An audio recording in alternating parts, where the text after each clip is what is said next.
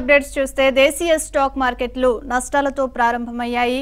Sensex Nifty నష్టాలతో trade అవుతున్నాయి. Divi's labs Cipla Britannia Apollo ఆసుపత్రిల షేర్లు లాభాలతో ట్రేడ్ అవుతున్నాయి.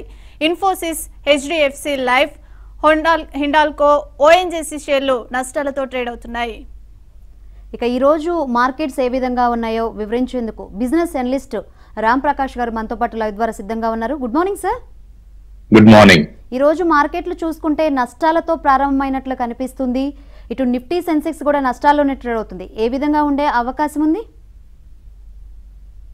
వాళ్ళ కొంచెం వొలటైల్గా ఉంటుందండి. ఎందుకంటే మనం last one week ten days నుండి చూసినా కూడా కొంచెం పాజిటివ్ ట్రెండ్ గానే వచ్చి ఇట్ హైయర్ లెవెల్స్లో I think almost we are touching highest point all time hike reach అవుతున్నాం కాబట్టి కొంచెం ప్రాఫిట్ బుకింగ్ వచ్చే అవకాశం ఉంది.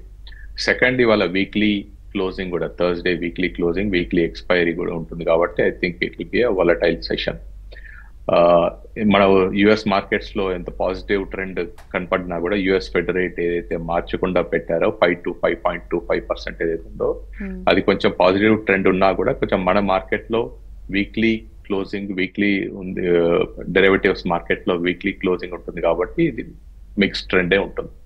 మిడ్ క్యాప్లో ఏ విధంగా ఉంది? టెక్నికల్ సపోర్ట్ ఎక్కడ తీసుకోవచ్చు అంటారు అంటే broad uh, mid cap uh, is positive అండి. వాల్యుయేషన్ పరంగా చూస్తున్నప్పుడు కూడా ఇంతకుముందు మనం uh, డిస్కస్ చేసినట్టు I think mid cap and small cap valuations ఏవైతే ఉంటున్నాయో I think they are very positive they are looking very attractive so అందుకోసమే మనకు చాలా యాక్టివిటీ కూడా mid cap and small cap trends కూడా కనపడుతున్నాయి. గత one one and half year మనం performance తీసుకున్నా కూడా lot of small cap funds mutual funds కూడా they have not performed lot of companies మంచి కంపెనీస్ కూడా రిటర్న్స్ ఇవ్వలేదు. So I think from here on next three to five years time ఫ్రేమ్లో mid cap and small cap would be good investment bet sir మీరు ఇందాక చెప్పినట్టు America fed వడ్డీ రేట్లను అదే విధంగా కొనసాగిస్తోంది. యథాతథంగా సో దీని ప్రభావం మన భారతదేశ మార్కెట్స్ పై ఎలా ఉండే అవకాశం ఉందంటారు?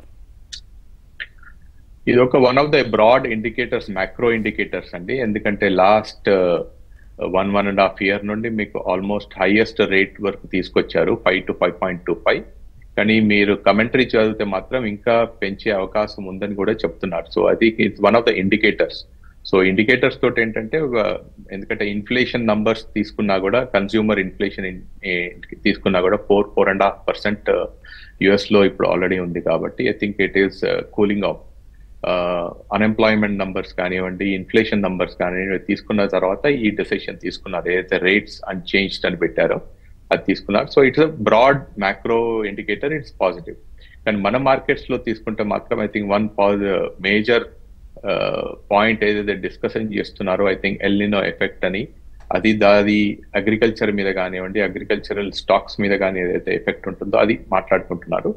బట్ మనం we to look at very positive factor ఎందుకంటే two thousand to two thousand twenty మనం ఏదైతే almost seven El Nino years తీసుకున్నాం.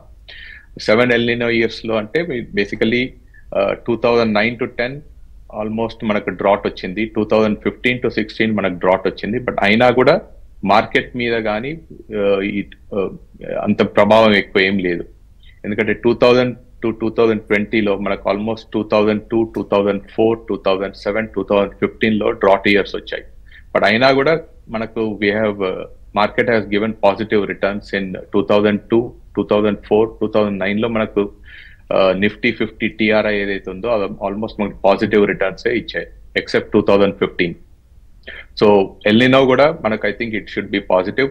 So investors ఏవైతే చాలా డిస్కస్ చేస్తున్నారో I think uh, even uh, markets are also discussing on this. El Nino చాలా effect effect ఉంటుంది. Monsoon మీద నెగటివ్ ఇంపాక్ట్ ఉంటుంది అంటున్నారు.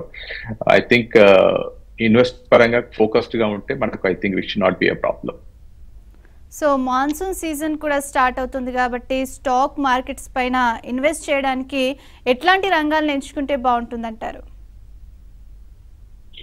ఒక కాంట్రా వ్యూ తీసుకుంటే మాత్రం I think tech is a sector అండి. ఎందుకంటే ఎప్పుడైతే ఈ ఎల్లినో ఆర్ మాన్సూన్స్ బాగాలేని టైంలో కానీ I think tech has perform so tech stocks can be look at but otherwise post మాన్స్ ఏది బాగాలేని మాన్సూన్స్ ఇయర్స్ ఏవైతే ఉన్నాయో ఐ థింక్ uh, మీరు రిపోర్ట్స్ ఏదైనా రిపోర్ట్స్ తీసుకున్నా కూడా next six months to one year చాలా మంచి రిటర్న్స్ మార్కెట్ uh, కూడా మంచి రిటర్న్స్ ఇచ్చాయి. సో ఇంతకుముందు చెప్పినట్టుగా uh, calendar year two thousand two two thousand four calendar year two thousand నైన్లో almost five percent seventy seven percent returns ఇచ్చాయండి market.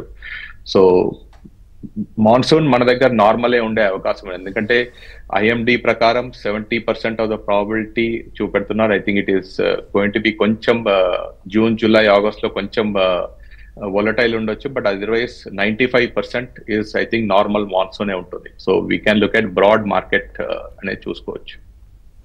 అలాగే crude oil forex మార్కెట్లో రూపీ వాల్యూ ఏ విధంగా ఉంది సార్ క్రూడ్ కొంచెం పెరిగిందండి. ఫ్రమ్ లోస్ నుండి కొంచెం ఆల్మోస్ట్ టెన్ ఫిఫ్టీన్ పర్సెంట్ పెరిగింది. బట్ అదర్వైజ్ ఐ థింక్ మన ఎకానమీ ఇప్పుడు current సినారియోలో I think it is priced in forex మాత్రం కొంచెం as there is the volatility but it is also taken ఎందుకంటే almost every year year on year మనకు almost four to five percent is depreciation in the rupee is already factored so global వైజ్గా చూసుకున్నట్టయితే కూడా recession ప్రభావం ఇంకా కొనసాగుతోంది. So మన భారతదేశంపై ఇదేమైనా ఎఫెక్ట్ చూపే అవకాశం ఉందంటారా? రిసెషన్ రిసెషన్ అంటున్నారు but I think latest reports కొన్ని చూసుకుంటే మాత్రం ఇట్ ఇస్ ఆల్ ఫ్యాక్టర్డ్ అని అది కొంచెం పాజిటివ్ గానే కనపడుతున్నాయి. నంబర్స్ కానివ్వండి ఇది కానీ I think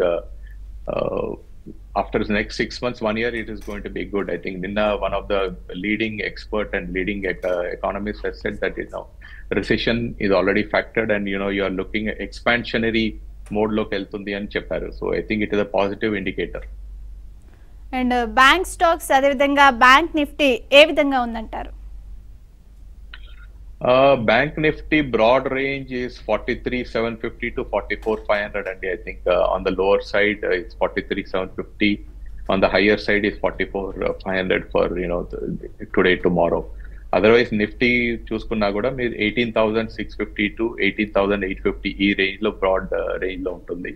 So these are two indicators for traders so investors can look at uh, companies like IDFC. IDFC మనకు ఆగస్ట్లో uh, మనకి ఏదైతే నిఫ్టీ ఆర్ సెన్సెక్స్ కానీ రివ్యూ ఉంటుందో I think it might be IDFC first bank can be included అదే మాదిరిగా JK Lakshmi cement ఏదైతే ఉంటుందో సిమెంట్ కంపెనీ మనకు ఆల్మోస్ట్ చాలా ఎక్స్పాన్షన్ కూడా చేస్తున్నారు. Eighteen million tons per annum to almost thirty million tons కూడా ఎక్స్పాన్షన్ మోడ్ పెడుతున్నారు.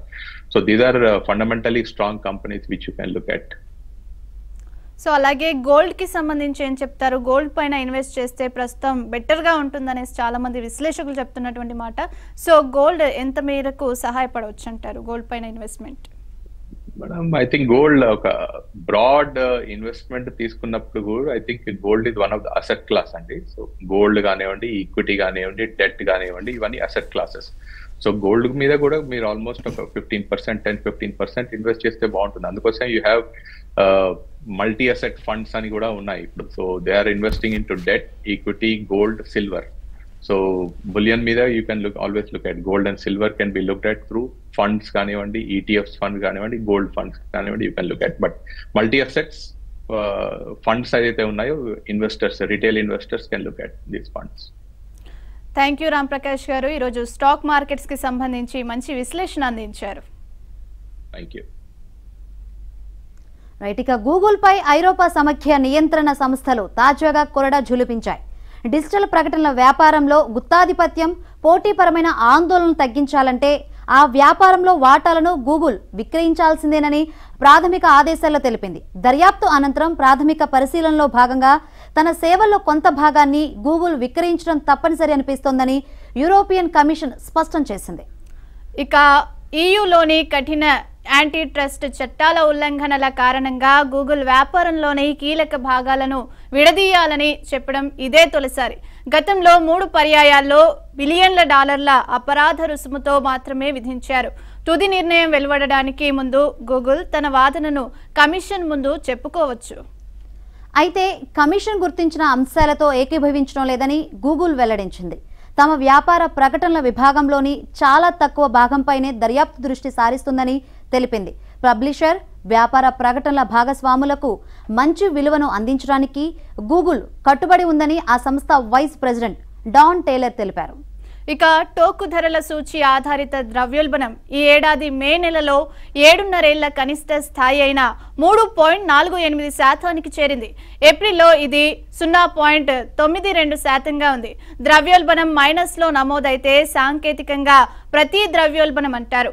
ప్ర- ఏడాది క్రితం ఇదే నెలలో టోకు ద్రవ్యోల్బణం పదహారు పాయింట్ ఆరు మూడు శాతంగా ఉండడానికి తోడు ఈసారి ఆహారం ఇంధనం తయారీ వస్తువుల ధరలు దిగిరావడం వల్లే గత నెలలో బాగా తక్కువగా నమోదైంది. ప్రస్తుత ఆర్థిక సంవత్సరంలో కీలక రేట్లను రిజర్వ్ బ్యాంక్ ఆఫ్ ఇండియా యథాతథంగా ఉంచడానికి ఈ గణాంకాలు ఉపకరిస్తాయని భావిస్తున్నారు. రిటైల్ ద్రవ్యోల్బణము గత నెలలో ఇరవై ఐదు నెలల కనిష్ట స్థాయి అయిన నాలుగు పాయింట్ రెండు ఐదు శాతంగా నమోదైంది.